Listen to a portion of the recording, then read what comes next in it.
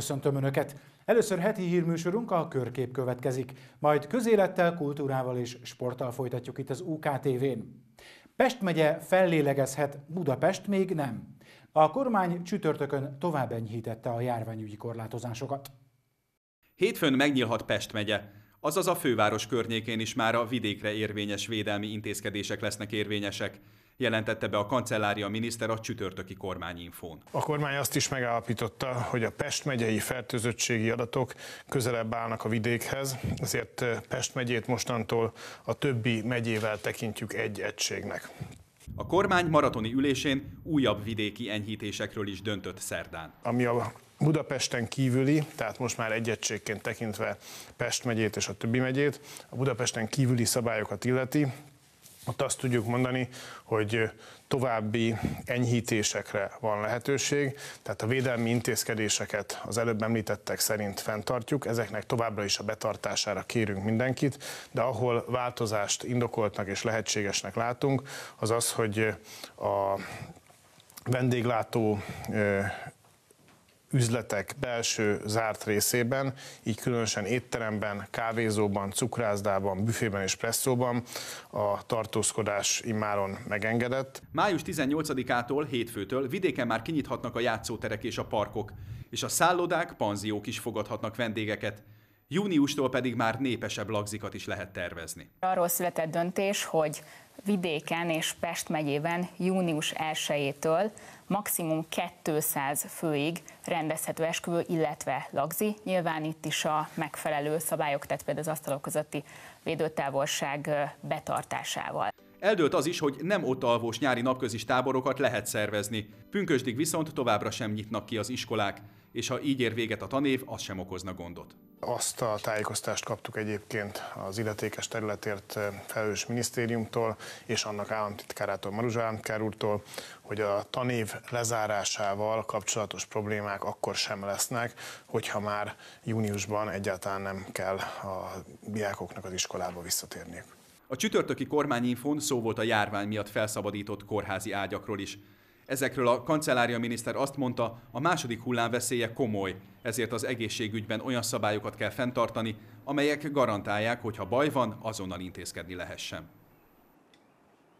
Szombat délután dönt a kormány Budapest sorsáról. A főváros már szabadulna, de a polgármesterek azt mondják, nem tudnak eleget ahhoz, hogy felelősen dönthessenek. Csak május 16-án, szombat délután az egészségügyi szakemberekkel egyeztetve dönt a kormány arról, enyhíti -e a koronavírus járvány miatt elrendelt korlátozásokat a fővárosban, jelentette be a miniszterelnök szokásos pénteki rádióinterjújában. A döntés előtt megkérdezték a főpolgármestert és a kerületek vezetőit is. Ők, így Déri Tibor polgármester is mind nyitnának, de a felelős döntéshez továbbra sincs elég információjuk. Én úgy gondolom, hogy erre a kérdésre legjobban azt tud válaszolni, aki az adatoknak a birtokában van. Újpestre az adatoknak csak egy kis része ö, szivárog, tehát ö, tudjuk a napi betegszámot, tudjuk azt, hogy ki az, aki mondjuk fertőzött, de egyéb más járványügyi szempontból döntést megalapozó adattal nem rendelkezünk. Újpest minden esetre ugrásra készen várja a bejelentést a fővárost folytogató intézkedések enyhítéséről, sőt, ahol tere van, már lépett is. Így május 15-én pénteken lekerült a lakat a kerület majdnem 30 nagy játszóterének kapujáról, szombattól pedig a Tarzan Park és a multisportbázis is várja a vendégeket. A kerület mindent megtesz a gyerekek biztonságáért, és ezt várja a felnőttektől is. Mi arra kérjük a felnőtteket, hogy szájmaszkot használjanak. A Újpest Városgondnokság, akik ugye felügyelik a, a játszótereket, pedig meghatározott időközönként pedig fertőtlenítően fogják azokat, annak ellenére, hogy a, a kormányhivataltól kapott állásfoglalás alapján ö, nem szükséges ezeknek az eszközöknek a, a fertőtlenítése. Amit tehát Újpest megtehetett ebben a helyzetben, megtette. A gyerekek már szabadon ugrálhatnak. Hogy a felnőtteket érintő egyéb intézkedésekre mikor kerül sor, az szombaton kiderül. Már egyre kevesebb szakrendelésen, de még szükség van negatív koronavírus tesztre az újpesti STK-ban, ahová lassan visszatér az élet. A mintákat a rendelések kezdete előtt elkülönített helyiségben veszik le a szakrendelő fülorgégészei. Majdnem 300 koronavírus tesztet kapott az újpesti önkormányzat abból a csomagból, amelyet Budapest adományból vásárolt meg és a kerületek közt osztott szét. 5000 darab ilyen tesztet, laborvizsgálatot vásárolt a kerületi önkormányzatok számára, amit lakosságszám arányosan osztanak szét mind a 23 kerület között. Tehát nincs különbség A és B kerület között, lakosságszámot veszik alapul. Ennek megfelelően Újpestre 283 darab vizsgálat jut. A vizsgálatokat azoknál végzik majd el, akik a humán miniszter rendelete nyomán csak negatív teszteredménnyel a kezükben kerülhetnek be valamelyik szakrendelésre. A mintát helyben veszik le. Annak kell PCR-tesztre bejönni ide a házba majd, akit az orvos elküld. Csak orvosi döntés alapján, csak szakorvosi döntés alapján, és nagy valószínűséggel csak a gastroenterológus fogja küldeni, vagy a szájsebész, nagyon ritka esetben talán egy fogorvos is elküldheti. Itt a házban a gégészeink fogják reggel munkaidő kezdete előtt, kezdetekor az elkülönítőbe a PCR-tesztet megcsinálni, tehát kimondottan erre el, létrehozott, vagy elkülönítettünk egy helységcsoportot. A mintákat egy fővárossal szerződött laboratóriumban elemzik, az eredmény pedig a levételtől számított második napon kerülhet a beteg, illetve a szakorvos kezébe. Ahogy hallottuk, a tesztre már csak nagyon kevés esetben van szükség. Miközben az STK-ban szép lassan visszaáll a régi rend, tartósan várhatóan csak az alig látogatott nefrológia és az Uzsoki utcai kórházban működő onkológiai utógondozás szünetel majd. Lényegében az összes többi rendelésünk június 1-ig megnyílik. A utoljára június elején a mozgásrehabilitáció, és addig 18-ai kezdettel, vagy azon a héten az összes többi is, ami még nem működik. Adásunk felvételekor még az a rendelet van érvényben, hogy ha valaki az STK-ba készül, annak először egy virtuális, azaz telefonos konzultációt kell folytatnia a szakorvossal, aki ha tud, telefonon vagy gyógyszerfelírással segít, és csak a legszükségesebb esetben rendeli be a beteget. Kásler Miklós humánminiszterhez és Müller Cecília országos tisztifőorvoshoz fordult a kerület vezetése, mert szeretnék tisztázni, érintett lesz-e a részben kiürített Károlyi Sándor kórház a covidos betegek ellátásában. Ha pedig nem, akkor mikor térhetnek vissza a hazaküldött ápoltak? Nincs nagy mozgás a Károlyi Sándor kórház előtt, nem úgy, mint egy hónappal ezelőtt, amikor hazaküldték vagy máshová szállították az itt ápolt betegek jelentős részét. Pontos számot nem tudni, csak annyit, hogy közülük 37 volt újpesti lakos. Elképzelhető azonban, hogy hamarosan megélénkülhet a forgalom, és visszaköltözhetnek a betegek. Legalábbis ez a következtetés is levonható a humán miniszter tájékoztatójából. Most hétvégén kaptuk készhez Kásler Miklós legújabb levelét, amelyben elrendeli, hogy a covidos betegeket mely kórházakba kell szállítani. Ez egy hosszú lista, de a listán nem szerepel a Károlyi Sándor kórház. A kerület vezetése egyértelmű választ szeretne kapni arra, hogy a Károlyi érintett lehet-e a covidos betegek ellátásában vagy sem. Ha pedig nem üzemel majd járványkórházként, akkor mikor és milyen mértékben lehet az április közepén felszabadított ágyakat újra feltölteni krónikus, ápolási, illetve rehabilitációs betegekkel. Déri Tibor polgármesterrel közösen e, levelet írtam Kásler Miklósnak és Müller Ceciliának, hogy adjanak erre magyarázatot, miért kellett ezeket az ágyakat is felszabadítani az Újpesti Károlyi Sándor kórházban, illetve kifejeztük az önkormányzat azon szándékát, hogy szeretnénk visszakapni ezeket az ágyakat, szeretnénk visszakapni ezeket a férőhelyeket. Adásunkig nem érkezett válasz a levélben feltett kérdésekre, sem az országos tisztifőorvostól, sem pedig a minisztertől. Gulyás Gergely kancellária miniszter a csütörtöki kormányinfón azt mondta, hogy a korábban biztosított ágyszám fenntartása már nem indokolt, ha a járvány kedvező tendenciája tovább folytatódik, akkor a szabaddá tett ágyak felhasználhatók. Akár 25-30%-kal is többe kerülhet egy idei napközis tábor, mint tavaly. A két hónapon át tartó bizonytalanság miatt a táboroztatók ötöde nem tudja idén a szokásos táborokat megtartani. A kisebb kínálatnak pedig árfelhajtó hatása lehet. Önfeledten ugrálnak, csúszdáznak, pancsolnak a gyerekek ezeken a nyári táborban készült felvételeken. A társakkal töltött vidám napok óriási, akár életre szóló élményt adhatnak nekik. Az iskoláskorú gyermekeket nevelő szülők most fellélegezhetnek, mert a kormány döntése értelmében, ha ott alvós táborba nem is, de napközis táborba már mehetnek a csemetéig.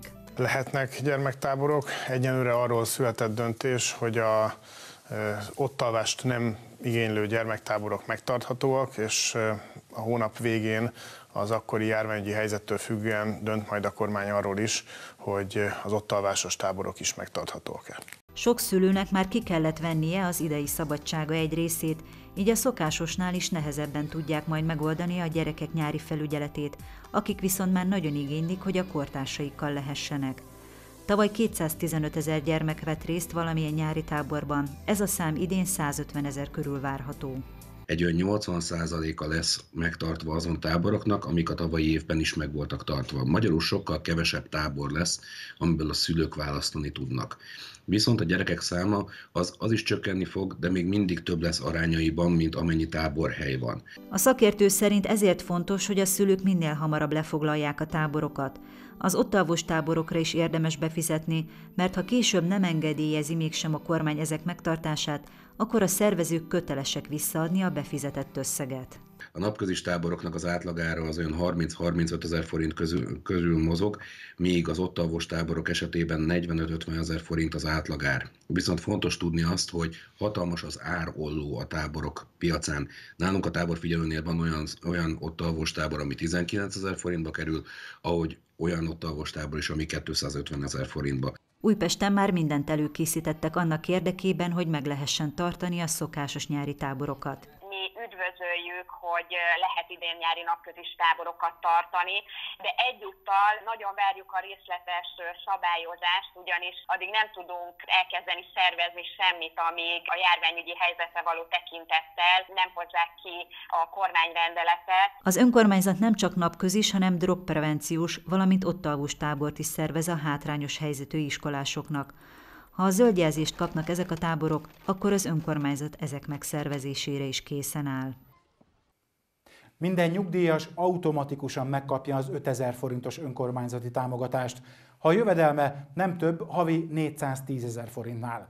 Az Újpest Pluszt megbecsülés utalványok már elkészültek, de átvenni csak a járványveszély elmúltával lehet majd azokat. Megérkeztek a Városházára az Újpest Plus megbecsülés utalványok, amelyeket a járványveszély elmúltával át is vehetnek a kerület nyugdíjasai. A május elején módosított önkormányzati rendelet nyomán minden olyan szépkorú, akinek havi jövedelme nem több 410 ezer forintnál 5 ezer forint értékű utalványt vehet át. A támogatást nem kell kérvényezni, akiről a nyugdíjbiztosító május elején tudott, az megkapja, hangsúlyozza a kerület vezetője. Listában benne vannak, értelemszerűen kapnak értesítést az átvételnek a módjáról, az átvéken mikéntjéről és az időpontjáról. Ez megy ki, és az átvételi pontokon már azonnal át lehet venni ezeket az utalványokat, ami 5 darab 1000 forintos címletű utalvány. A krumplizsákok helyébe lépő Újpest Plus megbecsülés utalványokat a kerület négy pontján lehet majd átvenni, és első körben az újpesti piacon felhasználni. Hogy mikor, azt a következő napok, hetek döntik el, hiszen a legfontosabb szempont továbbra is az idős emberek egészsége. Ezt a kockázatot szeretnénk minél, minél kisebbet csökkenteni, ezért gondoltuk, hogy a járványveszély elmúltával fogjuk ezt a programot beindítani. De én úgy gondolom, hogy hogyha ezt a számok és a jelenlegi járvány alakulása lehetővé teszi, azonnal készek vagyunk arra, hogy beindítsuk ezt a programot. Ahogy rendeződik tehát valamennyire körülöttünk az élet, elindulhat a kerület szinte minden nyugdíjasát, nagyjából 25 ezer embert érintő, az idősek méltó megbecsülését kifejezni hivatott program, amely mintegy 125 millió forintba kerül. Kinyitott az újpesti Ugró Gyula utcai hulladékudvar. Az FKF gyűjtőhelyei lassan visszaállnak a megszokott kerékvágásba. A karanténos időben rengeteg szemét halmozódott fel. A kereszteződésig áll az autós sor a 15. kerületi hulladékudvar bejárata előtt, odabent egyre csak telnek a konténerek. A pár hete újra működő udvar alig bírja a forgalmat, furcsa mód ez lesz a szerencséje az újpestieknek. Többek közt a tumultust enyhítendő nyílik meg az Ugró Gyula utcai hulladéklerakat. A 15. kerület Károlyi Sándor utca 166 alatt üzemelő ö, hulladékudvarunkban vagyunk. Ez a hulladékudvar már nyitva van egy ideje, viszont olyan nagy forgalom ö, van az udvarban, alapvetően sitt és lomhulladék átvétele kapcsán, hogy itt a ö, csak szelektíven gyűjtött anyagok, tehát csomagolási műanyag, papír, stb. ilyen anyagok átvétele ö, csak abban az esetben folytatódik, hogyha valaki lommal sittel érkezik, és akkor elhozhatja ezt az anyagát. Csak ilyen anyagok átvétele áttevődik az ugrógyula sorra. Lom, sit, használt autógumi, elektromos és veszélyes hulladékok. A hulladékudvar szinte mindent átvesz, de a vírus időszakban egyelőre csak a lakosságtól és csak szemétdíj fizetési igazolás, valamint szigorú intézkedések betartása mellett. A hulladékudvarokba a lakosság csak ö, csökkentett számban érkezhet be, tehát a kapuban kell várakozni. Ö, nagyobb udvarokban két fő, három, ö, tehát két beszállító, három beszállító. Ö, például az Ugrógyula sorban ö, ez egy kisebb udvar, ott ö, alapvetően egy fő fog bent tartózkodni egy időben. Emellett minden lakosnál fontos a védőkesztyű vagy kesztyű használata és a maszk használata, amikor be, bent tartózkodik a hulladékudvarban. A pakolást az ügyfelek saját maguk kell megoldják, az udvarkezelők szaktanáccsal látják el, mit hova ilyesmi. Az Ugró Gyula utca 1-3 számnál május 15-től tehát már nem csak a virágok nyílnak, hanem a hulladék lerakó ajtaja is. Ide a szelektíven gyűjtött csomagolási hulladék, veszélyes anyag, használt olaj adható le. A személyi jövedelemadó bevallás határideje a járványügyi helyzet ellenére sem változott. A magánszemélyeknek május 20-áig kell elektronikusan vagy postán megküldeniük, illetve személyesen benyújtaniuk a NAV ügyfélszolgálataira a bevallást a 2019-ben szerzett jövedelmükről. Ugyanezen időpontig lehet rendelkezni a befizetett jövedelemadó 1 plusz 1 százalékának felajánlásáról is. Bár a koronavírus járvány összekócolta a napjainkat, és néhány ponton megmozgatta az adózási határidőket is, vannak dolgok, amik nem változnak. Ilyen a személyi jövedelemadó bevallás határideje is, május 20-a. A NAV idén is elkészítette a magánszemélyek bevallás tervezetét, amely pillanatok alatt elérhető az ügyfélkapuról is. Május 20-áig mind a magánszemélyek, mind az egyéni vállalkozók, illetve az őstermelőknek maradt a határideje, tehát az ő bevallásaikat le kell adni, illetve a nap mindenkinek, mármint a magánszemélyeknek elkészíti mindenkinek a bevallását, csak rá kell nézni, el kell fogadni, illetve hogyha ez nem történik meg, akkor az marad életbe, amit a nap csinált meg. Figyelem, ez csak azoknál a magánszemélyeknél működik, akiknek minden tavalyi jövedelméről van adat az adóhivatalnál. Ha ez nincs így, a bevallást ki kell egészíteni. Van dolguk az egyéni vállalkozóknak és az őstermelőknek is. Természetesen az egyéni vállalkozók és az őstermelőknek az adatait nem tudja a NAV, mert minden adatot nem tud, tehát ő nekik muszáj leadniuk. Május 20-áig rendelkezhetünk az 1 plusz 1 százalékokról is. Ezt a bevallás részeként, de önálló nyilatkozatban is megtehetjük. Felajánlásokat csak regisztrált civil szervezetek, technikai számmal rendelkező vallási közösségek és a kiemelt költségvetési előirányzat kaphat. Az egyházi szervezetet azt ki tudják keresni, tehát ott, ott a technikai számok felajánláson vannak, hogyha ezen az e-SZIA portálon keresztül nézik a bevallást, és azon keresztül fogják elfogadni, akkor azt ki tudják választani, viszont a civil szervezeteknek felajánlott egy százalékot, csak úgy tudják felajánlani, hogyha előtte megnézik az adószámukat, és azt beírják.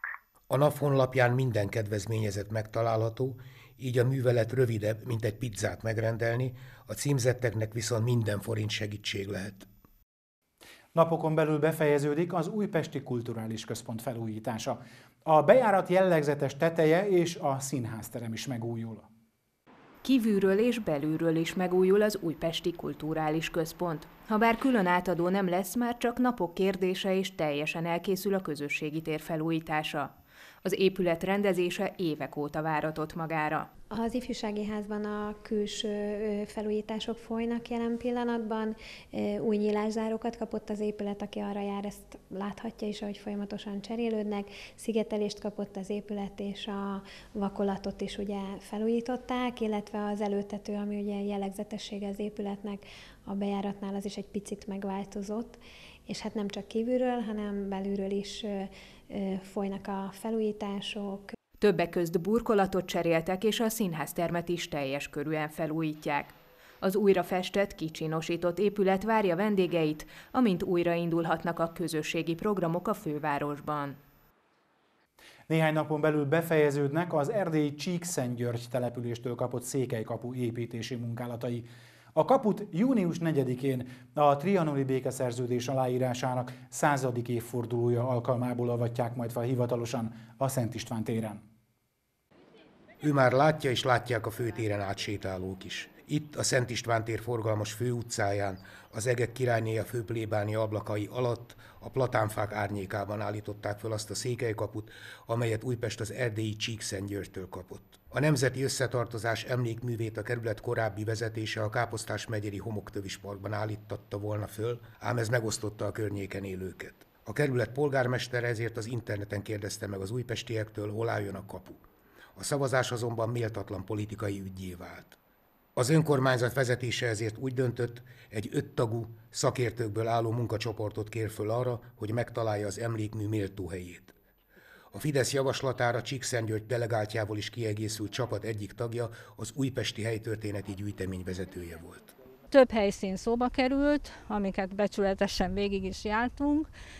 Mindenképpen ahhoz próbáltunk alkalmazkodni, hogy a székelykapu méreteit figyelembe vegyük, tehát az, hogy mekkora tér kell neki, mekkora helyet foglal, és az, hogy egy méltó helyszín legyen, illetve egy olyan ö, tér vagy ö, terület, amely viszonylag nagy forgalmat bonyolít le. A főtér több pontját is megvizsgálták, de a szakemberek szerint ez a helyszín a legalkalmasabb hiszen a Székelykapu a történelmi Újpest szívében áll majd, a nagy egyházi központok, a városháza, a piac, a közlekedési csomópont közelében, ugyanakkor egy olyan háborítatlan és békés területen, amelyet nem zavarhatnak majd meg a téren tervezett felújítási munkák.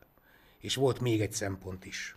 2010-ben, amikor valamilyen szinten elkészült a főtér felújítása, mert ugye látjuk, hogy még ma sincs befejezve igazán, akkor ide került, és végleges helyére került ide a fájdalmas anyaszobor, amely egyértelműen már az 1930-as évek közepétől, végétől az nemzeti összetartozás emlékműve, és tulajdonképpen azt az érzés, azt a fájdalmat fejezi ki a szobrász szándékai szerint, amely ugye az elcsatolt területek iránt érzett fájdalmat hasonlítja az anya elvesztett csecsemője iránt érzett fájdalmat. Ugye nem szorul magyarázatra, miért áll majd itt, a szobor szomszédságában a nemzeti összetartozást jelképező székelykapu, amely a helytörténész szerint az összes határon túli magyar emlékhelyévé válhat és az sem, miért június 4-én adják át. Egy nagyon szűkörű átadása lesz, aminek, eh, amire meghívjuk értelemszerűen eh, Csíkszentgyörgy polgármesterét, illetve a bíráló bizottság tagjait, illetve az önkormányzatnak eh, részéről egy néhány ember lesz jelen. Tehát ez egy, ez egy szűk körű átadó ünnepség lesz. Ha már megígértük, hogy június 4-én, hogy a Trianon 100. évfordulóján lesz ez a kapunak az átadása, ezt mi betartjuk és meg át is adjuk. Ahogy hallottuk tehát, ha minden jól megy és megteheti, ott lesz az ünnepségen az erdélyi Csíkszentgyörgy polgármestere is, aki kezdettől fogva bízott az újpestiek döntésében. És ha jön, azt látja majd, hogy az ajándék méltó és szép helyre került. A körkép után a korrekt, a mozaik, a helyi érték, az újpesti sport, majd a művészbejáró következik. Műsorainkat az Újpest Média honlapján, a YouTube-on és a Facebook oldalunkon is megnézhetik. Nézzenek, olvassanak minket, viszontlátásra!